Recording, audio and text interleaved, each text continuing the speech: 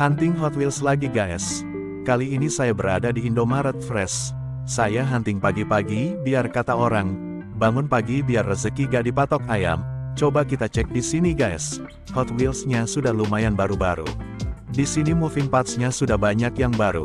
Di sini ada Ford Mustang edisi spesial 70 tahun Matchbox. Ini lumayan cakep, tapi bukan fokusan saya jadi saya skip aja guys. Dan di sini ada Toyota FG Cruiser. Saya skip juga karena bukan fokusan saya. Sepertinya ini moving parts yang satu lot dengan Lexus putihnya guys. Tapi saya gak nemu Lexusnya di sini guys. Dan sepertinya stoknya cuman itu aja guys. Saya belum nemu Hot Wheels seri Fast and Furious di sini guys hehe. Sepertinya belum menyebar di daerah saya guys. Masih mencoba mencari seri Fast and Furious YF3 guys. Kali ini saya masih berada di Indomaret. Di sini saya lihat matchboxnya sudah lumayan baru-baru. Di sini moving parts-nya sudah baru-baru juga. Tapi saya skip karena bukan incaran saya. Dan di sini Hot Wheels-nya kebanyakan masih stok yang kemarin-kemarin guys. Oke karena gak ada yang bisa saya serok. Jadi kita lanjutin lagi pemburuannya guys. Oke kali ini saya berada di Indomaret Fresh guys. Kabarnya Indomaret Fresh mulai masukin Hot Wheels seri Fast and Furious.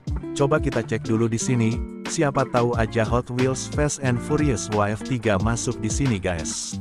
Coba kita cek Hot Wheels regulernya. Sepertinya masih yang lot kemarin guys.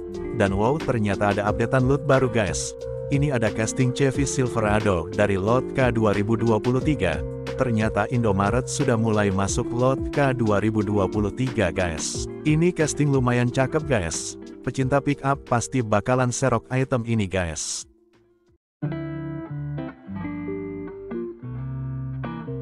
Oke karena gak ada yang bisa saya serok di sini guys, kita lanjut lagi ke tempat selanjutnya.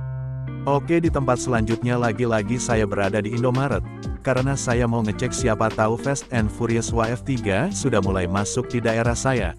Kita cek Hot Wheels yang di sini, dan benar aja ini ada castingan terbaru dari lot K 2023. Sepertinya lot K 2023 sudah mulai merata di daerah saya.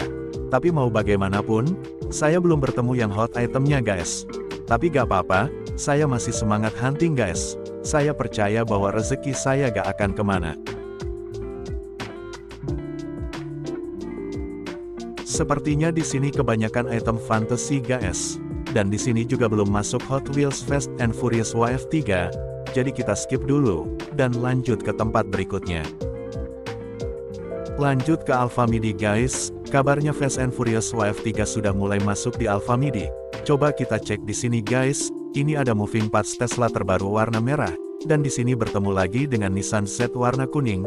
Matchbox-nya sudah lumayan baru-baru guys, di sini masih ketemu Mitsubishi 3000 GT. Cukup keren, tapi saya gak serok guys, dan terpantau masih ada neon speeder guys. Nampaknya FNF YF3 belum masuk di sini. Di tempat saya cukup lama untuk masukin seri FNF, dan kita lihat Hot Wheels regulernya. Nampaknya masih banyak lot lawas semua guys.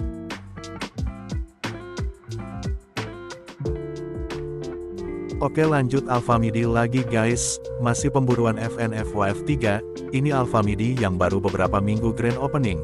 Kita lihat di sini guys, terlihat Hot Wheels regulernya sudah banyak yang baru-baru, sepertinya masih lot J kemarin guys, belum ada penampakan dari hot itemnya di sini guys, untuk matchboxnya juga sudah lumayan baru-baru.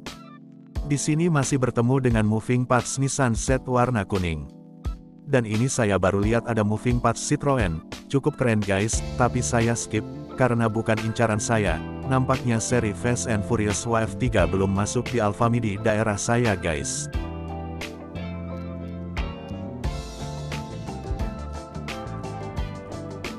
Saya nemu box kuning guys, saya coba nanya ke kasir, siapa tahu ada seri Fast and Furious guys.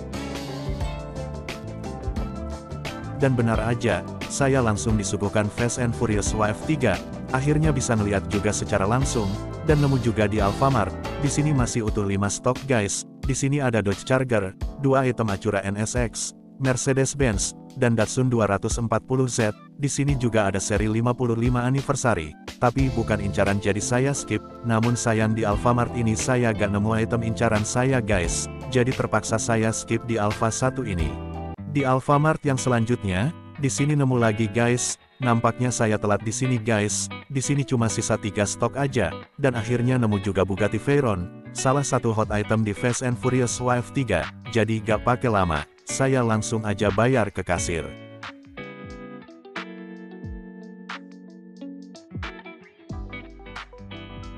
Di alpha berikutnya saya nemu lagi guys, di sini ada 4 stok, dan saya bertemu dengan Bugatti lagi guys. Namun sayang di sini gak ada incaran saya.